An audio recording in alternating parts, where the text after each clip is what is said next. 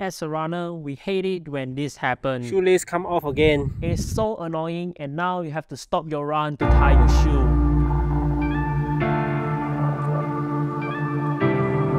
It is always hurt when this happens and now we have to review the rhythm.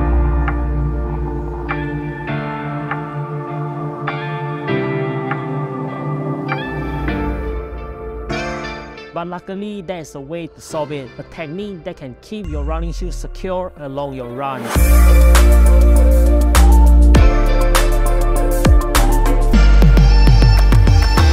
This is called the runner knot or the heel lock technique and it is pretty simple to do. Do you notice this additional hole on your running shoe? You'll be using this additional hole to do the runner knot. Let me show you. First step, tie the lace crisscrossing each other. Second step, make a loop with the tie into the additional hole, pull it through and leave a small gap. Third step, fit the lace into the opposite gap. Fourth step, pull the lace up and down to tighten the lace and secure the shoe. Finish it off by tying the knot. For the knot, I use the double knot method, which is to tie the knot for two loops instead of one to secure the lace. Repeat the same technique for another pair of shoes and now you are ready to go for your run without a lace problem again.